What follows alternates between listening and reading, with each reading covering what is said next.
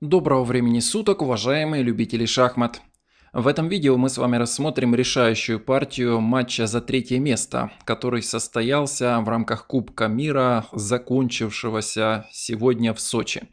Напомню, это противостояние норвежца, чемпиона мира Магнуса Карлсона и российского гроссмейстера Владимира Федосеева.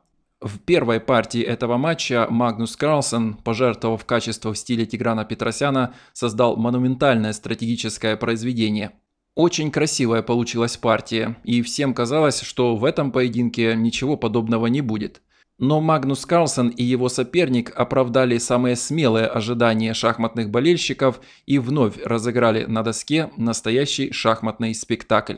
Итак, Магнус Карлсон играл белыми, пошел Е4. В ответ c6, d4, d5. Защита Каракан. Е5 играет Карлсон, избирая закрытый вариант, и Федосеев выводит слона на f5. В этой известной позиции у белых с десяток интересных продолжений, и чемпион мира останавливает свой выбор на продвижении пешки на c4. Е6 играют черные, конь c3. В таких ситуациях довольно часто черные сами меняются на c4, создавая белым отсталую пешку на d4, но тут не все так просто. У белых крепкая позиция в центре и перевес в пространстве. Неплохим продолжением за черных здесь был ход конь e7. Маститые гроссмейстеры чаще всего играют тут именно так.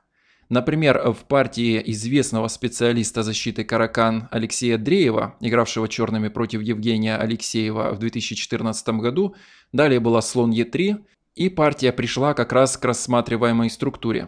Черные побили на c4, конь d7, конь f3, напали на слона, белые отступили, черные заняли пункт d5, после рокировки в этой позиции размен – Здесь у белых остается определенное пространственное преимущество, но точной игрой Дрейву удалось уравнять позицию и достичь ничьей. Но в нашей партии Владимир Федосеев сыграл слон b4, связав коня. cd играет Карлсон.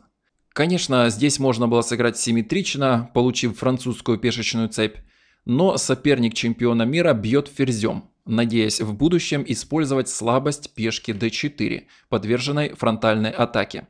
Конь же e2 играет Карлсон. Понимая, что ферзю рано или поздно нужно будет отступить, Федосеев отводит его на начальную позицию, после а3 играет слон а5 и конь g3, нападая на слона. Конь e7 играют черные, слон c4, слон g6 и h4. На королевском фланге идет типовая для закрытого варианта защиты каракан игра. Белые хотят продвинуть пешку на h5, напав на слона, черные же играют h6 и после h5 ныряют слоном на h7. Зажимающие позицию черных на королевском фланге белые пешки e5 и h5, а также отсутствие на этом участке доски чернопольного слона позволяет белым напасть на пешку g7. Карлсон играет ферзь g4. Конечно, делать рокировку плохо. Белые просто забирают на h6, сразу выигрывая партию. Поэтому Федосеев сделал заранее запланированный ход король f8. Конечно, начинающим шахматистам такой маневр покажется очень подозрительным. Но опытные шахматисты прекрасно знают, что в подобных позициях защиты каракан, а также французской защиты, ход король f8 довольно распространен. Да, черные добровольно лишают себя рокировки, но вскрыть позицию и добраться до черного короля белым не так-то просто. Магнус Карлсон пока делает рокировку. Конь d7. Черные намечают типовой маневр конь b6 и после нападения на слона можно перейти на d5. Белые же играют конь ce4, стремясь на пункт d6. Оказывается, что в случае запланированного конь b6 с нападением как на слона, так и на пешку d4, белые не отходят слоном, а смело жертвуют его на поле e6. После фе конь c5 с угрозой страшной вилки на e6. Если пешку защитить ходом слон g8, то белые играют b4, отыгрывая фигуру и продолжая атаку. Поэтому лучше слон f5, не только защищая пешку, но и контратакуя ферзя. Белые забирают, после взятия конь e6. Если отойти на g8, то моментальный мат.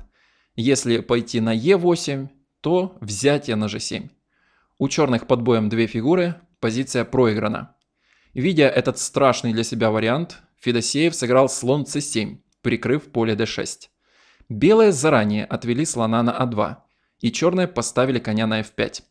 Пешка d4 под боем, и Карлсон забирает этого коня конем. Дело в том, что вилка после ef не наносит белым материального урона. Можно просто отойти на f3, и если забрать на e4, то последует мат. Конечно, разрушать свою структуру не нужно, лучше забрать слоном, что и сделал Федосеев. Ферзь белых отошел на f3. Ферзь e7. Черные потихоньку развиваются, но проблема Федосеева в том, что у белых слишком много атакующих ходов, которые позволяют Магнусу Карлсону развивать свою инициативу. Чемпион мира отходит конем, нападая на слона. Тот вновь отходит на h7. В этом положении можно было доразвиться, сыграть слон e3, надежно защищая центральную пешку, но Магнус Карлсон, почувствовав запах крови, снова ставит ферзя на g4, намечая марш пешки f. Линия вскрывается, ладья бьет по королю c5 играет Федосеев, понимая, что промедление смерти подобно. Слон d2 играет Карлсон. Оказывается, что взятие на d4 парируется простым слон b4. Нужно закрываться конем в избежание потери ферзя. После нападения b6 и белые приступают к реализации своего основного плана. Играют f4, далее f5, начиная мощную атаку. Поэтому ладья d8 сыграл Федосеев, Белый же ставит пешку на f4. Конь b6, нападая на пешку d4 и слон c3. Конечно и здесь взятие на d4 рекомендовать черным нельзя. Последует все тот же ход слон b4 и черным нужно отдавать фигуру на d6, чтобы не расставаться с ферзем. Поэтому Федосеев сыграл конь d5, нападая на слона и угрожая вилкой. Здесь наименее обязывающим продолжением за белых было простое взятие и уже дальше f5. Но, конечно, Карлсон понимал, что расставшись с белопольным слоном, шансов добраться до черного короля меньше. Поэтому он игнорирует угрозу вилки и смело ставит пешку на f5. Федосеев осуществляет свою угрозу. Ставя коня на e3, он нападает как на ферзя и ладью, так и на пешку. Ферзь отходит на f3. Атакованный конь, конечно, мог забрать ладью. После взятия белые, пожертвовав качество, прямой наводкой стреляют по черному королю. Спасения здесь уже нет. Угроза фе очень опасна. А если забрать пешку, то конь f5, после размена угроза слон бьет f7. Если сыграть f6, то ферзь g6. Далее забираем, бьем еще и ладьей, черные беззащитны. Поэтому Федосеев вместо принятия жертвы качества берет пешку – Забираем, слон бьет f5 и белые делают очень сильный и красивый ход d5. Приятно делать такие ходы. Пешка угрожает вилкой, а брать ее нельзя, потому что теряется слон на f5. Жертва качества после ладья бьет d5 тоже ничего, черным не дает. Слон бьет ее, а далее теряется на f5. Поэтому приходится отходить слоном, создавая свою контругрозу. Магнус Карлсон внимателен к возможностям соперника – он блокирует черную пешку, играя слон c4. Отныне чернопольный слон черных будет узником в собственном лагере. Если в этой позиции забрать на d5, то белые бьют на f5 и дальше двигают пешку на e6. И все-таки пробиваются к черному королю. После f6 можно смело пожертвовать и после взятия ферзь g6 угрожает ладья f6. А на ферзь g7 с идеей отойти на g8 королем следует красивая вилка e7 материальные потери для черных неизбежны. Поэтому Федосеев поставил короля на g8, ослабив нажим белых по вертикали f. Здесь Магнус Карлсон мог снять все вопросы касательно победителя в этой партии, сыграв ферзь e2. Таким образом он создает угрозу взятия на f5. Даже защитив этого слона ферзем, черные не избавляются от этого удара. В случае взятия на f5 пешкой последует d6. Дальше белая подводит ладью на f1, слоны стреляют по резиденции короля, слон черных и ладья h8 бездействуют, а пешки белых вот-вот пройдут ферзи. Если же на f5 забрать ферзем, то белые забирают на e6 и вновь нападают на ферзя ладьей. Отойти сильнейшей фигурой, продолжая защищать важную пешку, черные не могут, а отдача ферзя на f1 тоже не спасает. После ферзя f1 и защиты пешки Белые дважды нападают на нее, используя связку. Пешка e6 падает, а вместе с ней рушится и вся позиция черных. Но вместо того, чтобы отойти ферзем, создав угрозу ладья бьет f5, Карлсон сразу задвинул пешку на d6 и выпустил часть перевеса. Ферзь h4 играет Федосеев. Белые защищают слона ходом b3, ладья d7, ферзь e2. Осложнить задачу белых черные могли с помощью лучшего в этой позиции хода слон g4, нападая на ферзя и пешку h5. Белым лучше отойти на e3, после взятия сыграть ладья f2. Далее ладья а f1 с нажимом по линии f. Конечно, у белых сохраняется преимущество, но ничего решающего пока не видно. В партии же Федосеев решил разменять ферзей и сыграл ферзь g4. Но он не заметил, что именно в этой позиции белые могут нанести удар ладья бьет f5. Карлсон пошел на жертву качества. Оказывается, что в случае взятия ладьи пешкой последует размен ферзей и удар e6. Конечно, если забрать пешку e6, то последует двойной удар, и ладья погибает на связке. Если же забрать на d6, то e7, и черным очень сложно задержать эту проходную. После король h7, ладья e1, ладья e8, слон бьет f7, и материальные потери для черных неизбежны.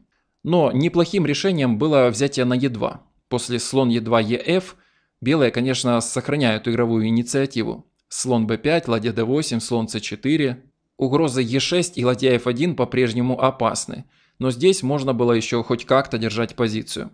В партии же последовало ферзь бьет F5. Карлсон, конечно, напал на ферзя, после отхода на G5 пошел слон D2. И вновь нападение. Ферзь в освоясе вернулся на начальную позицию. В этом положении белые, конечно, могли сыграть слон b5, отыгрывая качество, но, как и в предыдущей партии, Карлсон прекрасно понимал, что его слон сильнее неактивной ладьи соперника, поэтому продолжил играть на доминацию. Ферзь g4. Все фигуры черных чрезвычайно пассивны. Белые же ищут точку прорыва. И после хода а6 находят. Магнус Карлсон, уже успев в этой партии пожертвовать качество, расстается еще и с ладьей, забирая на f7. Мощь белопольного слона достигает своего пика – После взятия ладьи ладьей следует ферзь e6 с угрозой взятия ладьи, а на ферзь f8 просто d7, угрожая взятием слона. Тот отходит, ферзь e8. Белые ход за ходом оккупируют важнейшие поля на шахматной доске. После король h7 просто забираем на f7, и белые побеждают. Поэтому ладью Федосеев забрал королем. Там все-таки грозил мат на g7, поэтому игнорировать эту белую фигуру нельзя. И в этой позиции Магнус Карлсон мог сыграть слон бьет e6. Двойной удар. После король e8, ферзь g6. Король f8, слон d7. И здесь очень красивое сочетание атаки ферзем и пешками. e6, нападая на ферзя. Понятно, что в случае взятия на d6 будет мат. Если же пойти c4 в скрытый шаг, то это всего лишь отсрочка гибели. Король f1, ферзь отходит и e7 после чего черные вынуждены расстаться с ферзем. Это был самый короткий путь к победе. Но Магнус Карлсон, находясь в цейтноте, решил немножечко пошаховать короля соперника, понимая, что и так его позиция выиграна, и дойти до контроля, а затем уже найти прямой выигрыш. Так он и сделал. Забрал пешку на e6 ферзем, далее ферзь f5, король e8, ферзь g6, король f8, вот он, сороковой ход, контроль пройден. В этой позиции у черных колоссальный материальный перевес. За белого слона у них целых две ладьи. Но мощные проходные пешки, два активных слона и очень мобильный ферзь делают эту позицию для белых выигранной. Одним из путей к победе был ход слон f4 с идеей e6. После ладья f8 получалась очень красивая картина. Шах, ладья защитилась и e6. Вот такая пешечная вилка с нападением на две ладьи. Но Карлсон сыграл ферзь g6. Этого тоже достаточно для победы, но путь более длинный. Король f8 и e6, нападая на ладью. Опять же, брать на d6 нельзя ввиду мата на f7, поэтому приходится расставаться с материалом. Черные играют ферзь f6, белые бьют ладью, и, наконец-то, происходит размен ферзей. Но облегчения он черным не приносит. Слон d8, слон e6. Посмотрите на положение черных.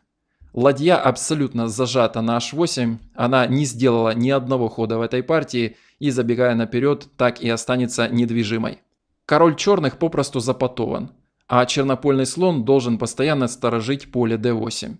Белые же имеют полную свободу действий. Эта партия перекликается с предыдущим поединком, в котором Карлсон тоже запотовал фигуры соперника. И тоже это случилось на королевском фланге. Но, как вы понимаете, с переменой цвета. Черные сопротивлялись недолго. Единственная идея активизации – это толкнуть вперед пешку h и выскочить ладьей на свободу. Но Карлсон этого не позволяет. После h5 он играет король f2, на h4 с идеей хода ладья h5 он предусмотрительно ставит слона на g4. b5 играют черные, король f3. Конечно, создание проходной пешки на ферзевом фланге черным особо не поможет. Она с легкостью берется под контроль одним из слонов. Поэтому b4 сыграл Федосеев, Карлсон просто разменялся и сыграл король e4, после чего измученный российский гроссмейстер признал свое поражение. В самом деле, у белых есть очень простой план реализации решающего позиционного перевеса. После примерного ладья g8 белые играют король f5, ставят слона на g5 и позиция черных рассыпается. Прекрасная партия в исполнении Магнуса Карлсона – как и предыдущий поединок, это полотно буквально просится в шахматный учебник.